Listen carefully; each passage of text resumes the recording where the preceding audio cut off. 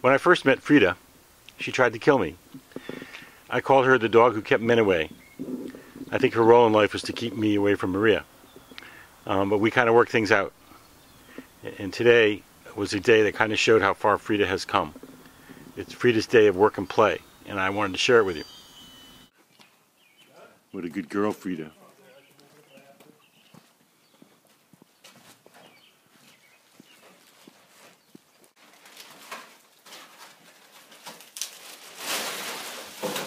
Frieda, you got something to chew on? And we'll keep the slate, we'll keep my tires. Oh, look at Frieda. She's so good, she's got a branch to chew on. My good girl, look at you, sweet thing.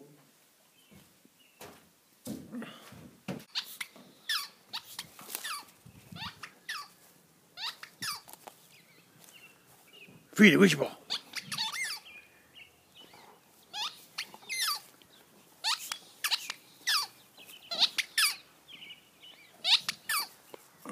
Hey, Frieda, go get it.